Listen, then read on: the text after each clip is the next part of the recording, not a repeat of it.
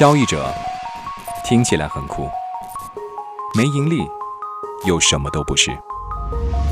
K 线之间，你屡败屡战，却屡战屡败，浑然不知是眼界输了。金钱永不眠，方向不止一边。电波刺穿圈层，声音勾画伦敦。这一刻，为你推开金融城的交易门。Hello，大家好，欢迎来到伦敦交易者啊，我是 Richard，希望大家通过我们这样的一个节目，在交易上有所收获。然后这一期节目我们会邀请到的嘉宾是 Adam，Adam 是一个非常资深的交易员，他是前 Rafco 的呃交易员。那他的传奇呢是说，他是十岁开始就有交易过股票，而十三岁又开始从事交易相关的事情。从二零零零年开始正式的成为一个专业的交易员，在 Rafco 工作。那这个经历当中，我相信很多的人都会认为他是一个天才交易员，或者从小就对数字特别敏感，对交易这件事情特别向往。大家可以从视频当中去探索一下哦，他过去的一些经历上的特殊性，还有是他见过非常多的自营交易的操作策略。那这也是我们这一期当中的重点。那他详细的介绍了咨询公司从两千年开始如何非常疯狂的赚钱。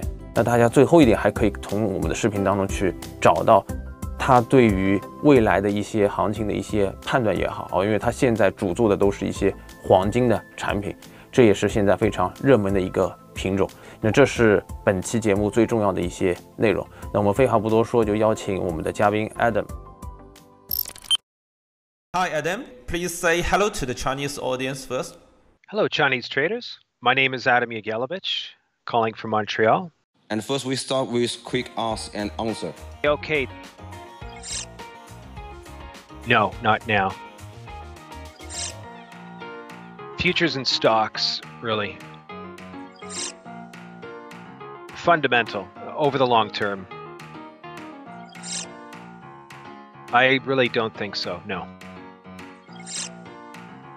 No, never. I'm pretty conservative.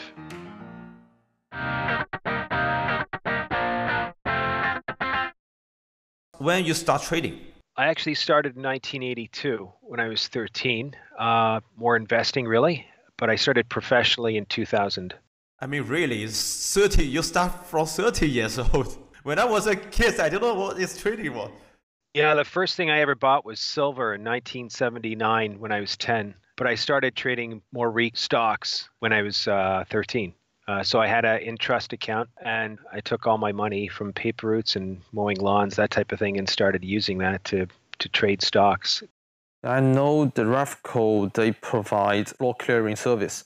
Their clearing service cover all globally. They have office in London and office in New York, Chicago. That was your first job in the early of your trading career in around 2002, right? Yeah. What is that job? And can you share more stories where you work there? Uh, but it's a really fun place. Sometimes we'd have some really big days, non-farm payrolls. We'd, the way we would trade really was on on press releases. So we would sit at the screens and wait for it to come across in the Bloomberg, and we'd have our fingers on the buy and the sell button. Somebody would call out what the number was, and we'd have our targets set in advance on the screen. So we'd have like a little sticky note on the actual screen so if it was one and a half point, we'd see that as perhaps taking a profit, so on and so forth. And uh, we we picked the levels really well because you know we would do a lot of research and, and, and try to find out where where the sticky areas were. And there's very little liquidity, so if you didn't hit it in the first second, you weren't going to get any of it. And that worked really well until about 2005, I guess it was. And suddenly everything disappeared. It was like the news was being leaked and we could no longer trade that way. And that's when it became a lot more difficult to trade.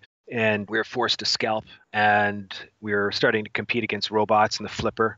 You probably heard of the flipper and that made trading a lot trickier. So you had to continually change your style. So that's that's how it was. So there were some really good years in there, but things really changed in 2006, 2007, and if you talk to traders, you'll you'll hear the same story. Yeah, that's a great story for us to know because that's when when you work at Refco, which products you trade most? We focused usually one bond product and one index product, and I traded primarily the Euro Stoxx and the 30 year or the 10 year. To the traders, they trade currency futures in Refco or they only trade bond? You could, but you would do it on a on a figure, maybe a ECB announcement or something, but not too many of us trade. There just wasn't the liquidity there in the way we traded scalping. Currencies are terrible. Currency futures are terrible for scalp. How much total volume when you was a traders at Refco on daily basis?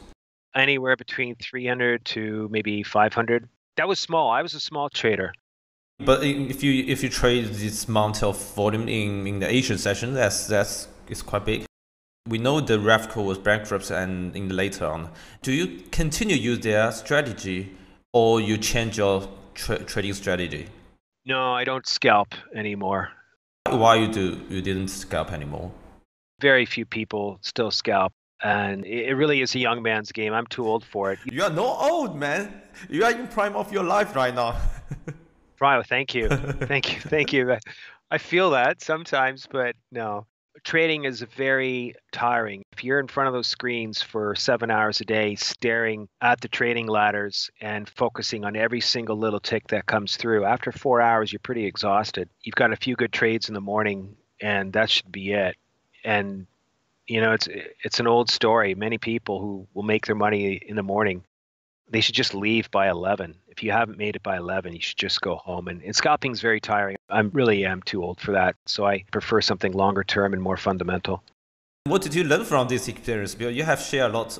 Yeah, in terms of scalping, I can tell you this that when you're that intensely scalping, you'll notice that the markets change in a period of two weeks, three weeks, and whatever worked for you won't work again.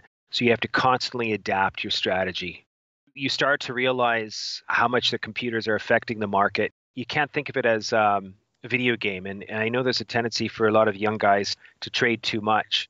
That's that's something that you better quickly learn that you're there to make your own money, not for anybody else, not for the company. You really have to adapt all the time and constantly learn. There's no end to it. You really have to read a lot and um, constantly adapt your strategy because the markets are always shifting after you quit the job at Refco and you start a trading education service, you set up OFA, the Online Financial Academy, at 2016. And I think you quite like to do the education stuff. Can you tell me the reason why you like to do that? Sure, there are two main reasons really. First reason, when you teach trading, you you become a better trader as well because if you make an error people will remember it. So you have to be even more rational about your trades. You need to really be sure when you when you say something, when you suggest something. You check every box. You you just do everything correctly. And the other reason uh, really is I, I saw a lot of companies out there that where the peop, the teachers, the, the people who ran these schools were charlatans.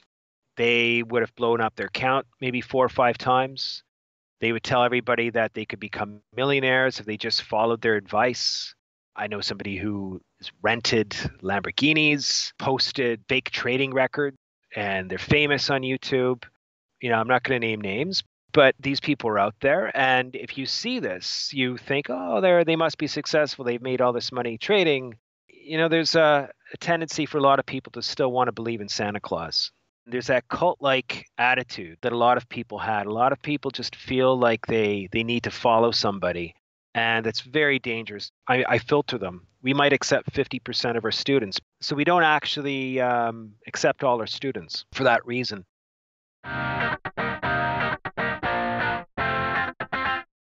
You got a lot of trading experiences in proper trading sh uh, shop or tra proper trading firm, and also in uh, one of the biggest brokerage firm. What kind of trading style do you like best, or you currently using? I mean definitely trend following. Can you explain more about your trend following strategy? Sure. If I see uh, a particular commodity or, or stock that uh, has a solid support on it, if I, if I see a retracement on it, I'll pick some up. If it starts to show continual strength, then I'll add to the position. Once I start to see a little short covering where it starts to get a, a very rapid boost, then I'll start to take profits. So it, it really comes down to that. Shorting is more difficult, of course, so I don't short as much. It's it's a different animal when you're shorting because sometimes you have to go offside longer, and it's just easier to trade from the long side. Mm, because you trade like uh, when the market just got a pullback and you made to trend a continuous pattern. I mean, right? When the market will go down or go long again. So I guess you may use Fibonacci retracement quite a lot. Yeah, I do. I do. I do look at Fibonacci's, and you know, usually uh, if something is in a, strong trend, you'll get a few few good pushes over the course of uh, maybe a couple of months, and you, you wait for that retracement. I'm I'm always looking for the really sure thing, so I'm very select that way.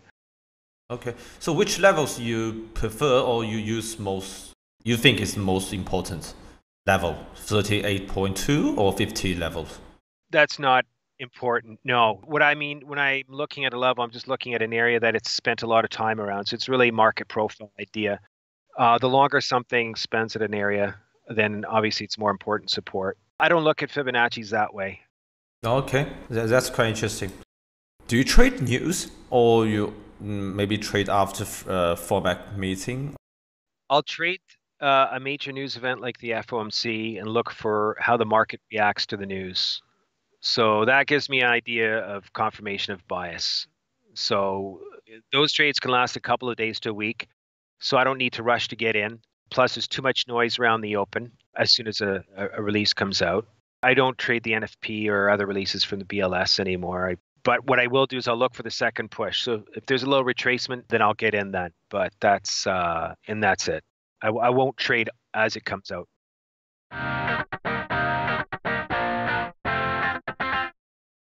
As we all know, the MF Global is uh, the one of the biggest financial derivatives dealing brokerage in the world, but, but it bankrupt afterwards. When you work with them and work there, you should meet some institution clients or maybe retail clients. Can you give us more case studies or examples? How is that job? Sure. I was only at MF for a very brief t- period of time as a broker. I really didn't like the brokerage industry, and so I um, I just went back to trading. It's not about uh, trading when you're a broker at all. So I didn't really get much out of that. But I can tell you this, and what I've seen over the years is that retail traders they they feel they need to trade. They'll they'll open an account, they'll make a career decision, and they commit to that career. But it becomes like a video game for them and time moves very um, very slowly when you're in front of the screen. So at the end of the day they rack up 60 trades something ridiculous and they realize after that they're just giving it all away to commission. They chase momentum and there's so much noise in the intraday time frame and then they lack confidence sometimes so they'll go to some guru or some chat box some chat room online and it's like being in an echo chamber. So people will listen to other people. It's just the worst thing that you can do is to start off account with a small amount of capital, chase momentum, and go onto a chat room. It's a recipe for disaster. You have to be very selective and uh, have something that works for you. And you also have to understand your own mentality. I, for one, I'm not a gunslinger. I know what works for me, what doesn't, and I stick to that. Other people have other ways of doing things. So you just really have to know who you are focus on one thing and do it well and really close your eyes to what other people are doing because if you see somebody driving a Lamborghini, Ferrari or it's just ridiculous. You're going to lose who you are, what you're capable of and uh, you're going to start to think like other people. So you think the biggest difference between the retail traders and institutional traders is for retail side they think trading is I can win anything so someone purchase a Lamborghini so I want to do the same because he get money from the market he can earn the money from the tra- trading. So they just forgot who they are. They will trade more or they we always talk about discipline during when we do doing the trading. But it's so difficult for you to to do that. Can you give some advice to the uh, retail traders? I think one of the things that uh, problematic with a lot of young traders is that they're not fully developed in terms of their own you know identity. They feel that they sometimes need to prove something and that's very dangerous. They really shouldn't think of it as a means to make a lot of money. It is but they shouldn't think of it that way. They should think of it as a as a chess game. They should enjoy the game itself and they'll be much better at it. It's a it's a bit of a sports analogy. Sometimes if you're um, if you're out of the zone you're not relaxed and you're uh, trying too hard you're going to be awkward on the field. Uh, whereas if you're relaxed um, and you're just enjoying the game, you'll be able to do things you didn't know you could do before, such as you know making sure your average winner is two or three times your average loss. Focus on probabilities. You know, it's all about probabilities. It's rare to find any trader who's making more than 55% of his trade uh, as winners, but you have to maximize those winners. The Pareto rule comes into effect here. 帕累托法则又名二八定律，指出所有变量中最重要的仅有百分之二十。 虽然剩余的百分之八十占了多数，控制的范围却远低于关键的少数。You can't take the market personally. If you start to take the market personally, you know, where you become euphoric or the opposite, despondent, these are extremes that you don't want to cultivate. As I mentioned before, you also have to avoid chat rooms and don't fall in love with the money trade because you love the strategy. But but you know, many young traders or many many retail traders they love chat rooms. I think they're killing themselves that way. I don't know. This this is uh, this maybe is due to the human beings. For the professional traders, you got training quite regularly from proper shop or from institutions. When you enter this market, they told you you you cannot do this, cannot do that when you got your experience, when you got the skills, so you maybe can do something else. But for retail side, no one teach them how to do that. They will trust other people more than trust trust themselves because when when they enter to that chat room, someone said, "Come on, guys, that's the best choice. That's the best moment to buy gold." So everyone buy gold. So can you give uh, I mean specific idea or specific plan? And maybe you said trade less if you're not um, just forget about the market noise. So, how many trades do they maximum trade in the daily basis? First of all, um, I don't really believe in trading plans, so to speak. And the reason I say that is because the markets are very dynamic. They're always changing. So you might say, okay, today I'm not going to make more than six trades, and that's it. I'm out for the day. Well, the market might not have six opportunities, it might not have one. So what are you going to do? Trade because your plan says to trade. The other problem I think with a, a trading plan like that is that it it's a very process oriented type of thinking. You're not seizing opportunities where they might be. You're not adaptable. So what you're doing is you're training your mind to think in a very process oriented manner, whereas what makes a trader great and better than the robots is somebody who can adapt, somebody who is a lateral thinker. I think what young traders need to do uh, yeah, the plan is something that a coach will give them if they're they're if they're in a position in trouble and they're making too many trades. But ultimately, what traders should be doing is the moment they sit in front of a screen is think, I'm not here to trade. I'm here to read the paper, read the news, and wait for a very, very compelling opportunity to arise. If it comes, I'm going to be very active mentally and I'm going to ride it. But really, you're just sitting in front of the screen and you're waiting, waiting, waiting. And that's probably the best advice that I can give them is to not think of trading, but to think of waiting. And um, it's contrary to the way a lot of people think. They think trading is this exciting thing. And yeah, sure, when you're 20, 21, 22 years old, sitting in front of a bunch of screens with a mouse in your hand and capital, but it, it there's not a good end to that.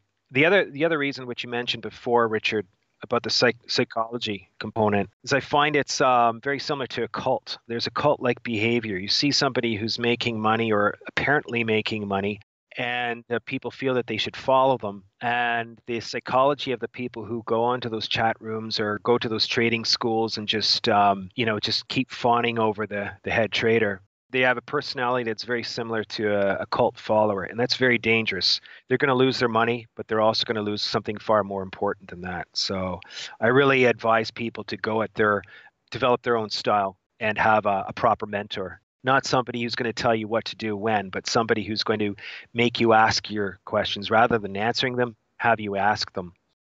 You didn't believe the trading plan is work because the market is always change, right? But I think the trading plan is give us a bottom line. So particularly for the retail traders, if someone maybe hold position over days, a week, I'm not sure. There are certain level they have to stop everything if the market go the wrong way. So they give us the bottom line. And do you got any suggestion about control the trading risk? When you place orders or you hold a position, for example, the gold, when you long the gold and hold the long position and what your risk reward ratios when you do that trade Usually three to one. This is where the Fibonacci's and market profile come in very useful. So if I see that there's a certain support level and it's starting to break above that, I'm going to look at where my stop loss would be, and then I'll look at the profit target. And if it's about a three to one ratio, that's something I'll take. I might not hold it the whole way, but that's something that I'd be looking for. There used to be a lot of trading legends like George Soros or Jim Rogers. But nowadays, there this individual heroism is less and less. I think it's less and less. Who is the most profitable traders you have ever seen? So give us uh, examples. I don't know if I should name names. Yeah, just a nickname, maybe give us.